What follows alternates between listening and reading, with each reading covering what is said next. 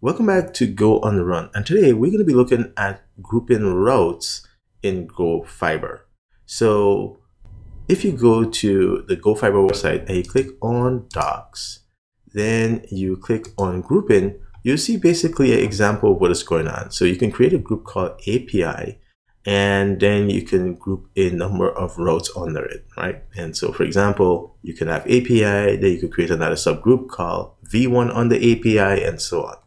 And so we'll see a little bit of example of essentially the same thing. So another way of seeing this, um, I think that might make it a little bit easier to understand is with some examples um, in my table. So let's say I have a route called slash about us. Um, and so it would get called, the handler for that would get called every time somebody tried to invoke, let's say, slash about us forward slash index.html. So that would bring up the, the that page. Um, I can have a handler for simply slash and maybe somebody tried to access that route, maybe they would access slash index at HTML and the handler would get called there. And so those two routes, the slash about us and the slash, those routes are in my slash group. I might also have a group called slash auth under which I'm going to group routes slash sign up, slash sign in, slash sign out. Notice that the routes, even though I'm calling it slash sign up, slash sign in, slash sign out, the full path to invoke the route is actually slash auth, slash sign up, slash auth, slash sign in, slash auth, slash sign out.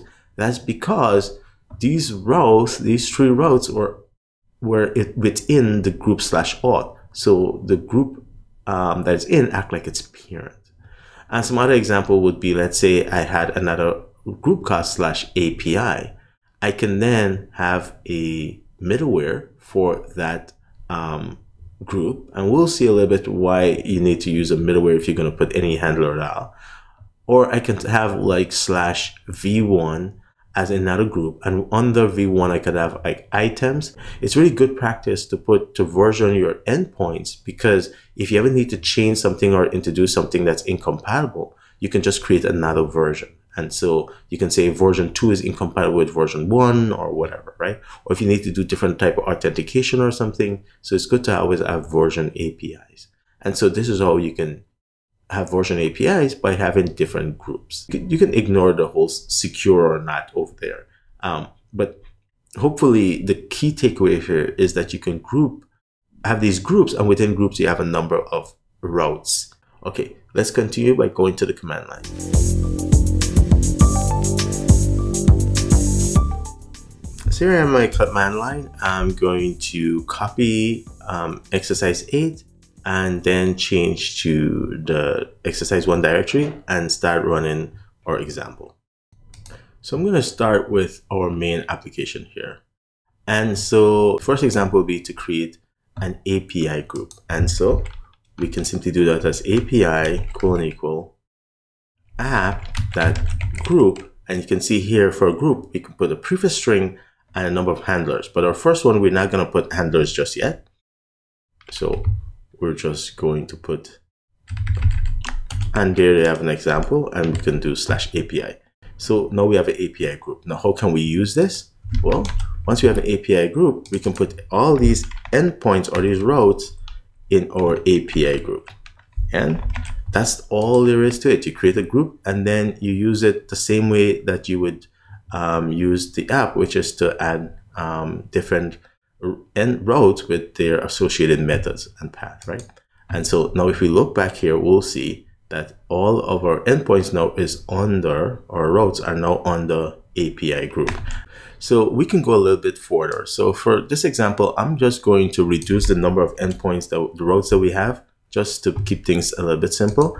And I'm going to say that oh, I have another group called version 1 colon equals, and um, I want to create it under APIs. Okay, so that's all what I'll do.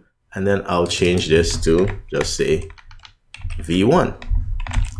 And there you go. If we wait until our code is saved and compiled, we'll see that we have our endpoints now are under slash API slash version one, da da da.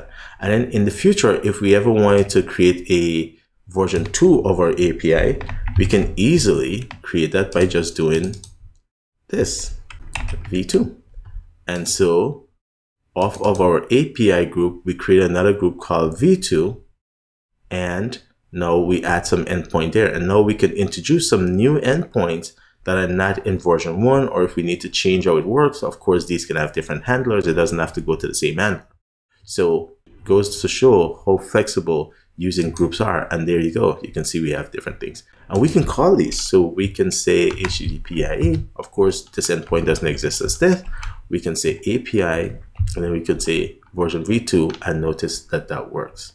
Now what happened if we were to call just like let's say v2 just like that? Of course we don't have a handler there or like this. We still don't have a handler or even this right? We don't have a handler.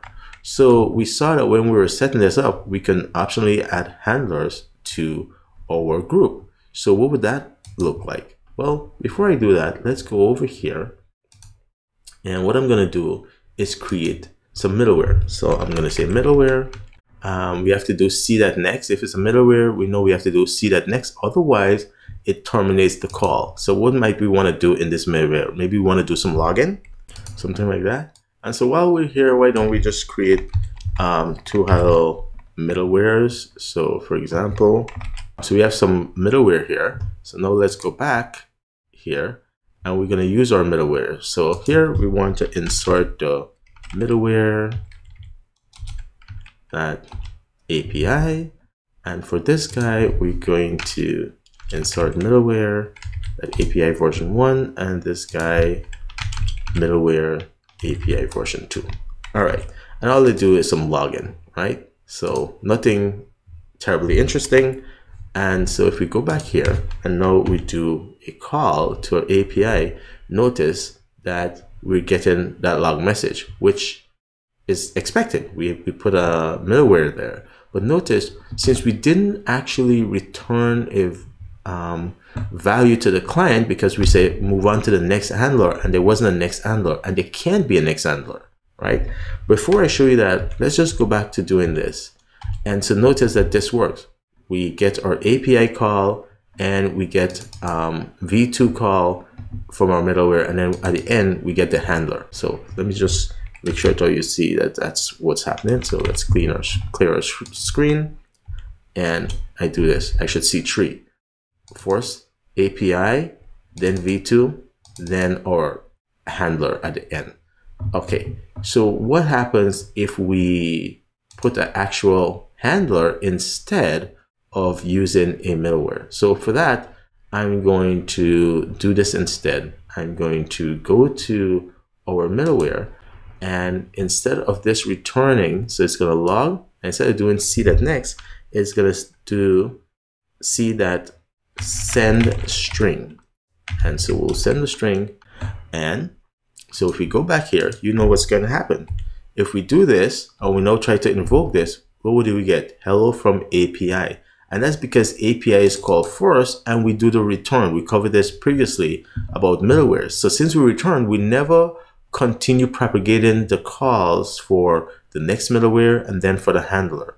So of course, once we don't, if we do a return, we're saying that oh, it should not propagate the call. So this should be clear that, oh, yes, if we or we don't actually use a middleware as the handler, but instead use a handler that returns the final value, then it's not going to work as we intended. So this is why this needs to be a middleware or a handler that operates as a middleware, which means that it's called the next handler in line.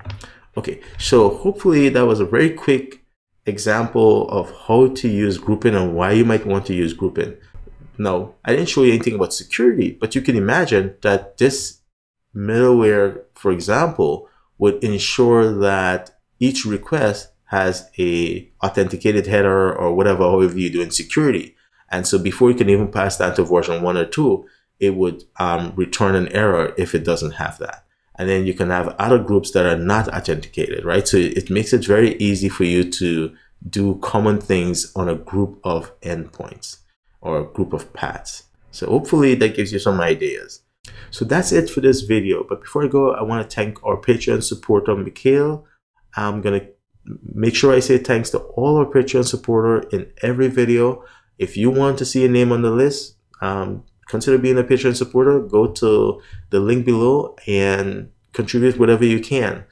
If you or anyone you know is going to be buying Tesla product or even just want to do a demo, please consider using my Tesla referral link. Um, I'll get some points and you can get some discount if you decide to buy something. Please take a few seconds to hit the subscribe button if you're not already subscribed. If you're liking the series, please give a thumbs up on the videos, leave some comments. I really appreciate it. Thank you so much. Thank you for those who have already subscribed and are returning. And if this is your first time, welcome and thank you for taking the time to subscribe. Be safe. See you in the next video. Bye.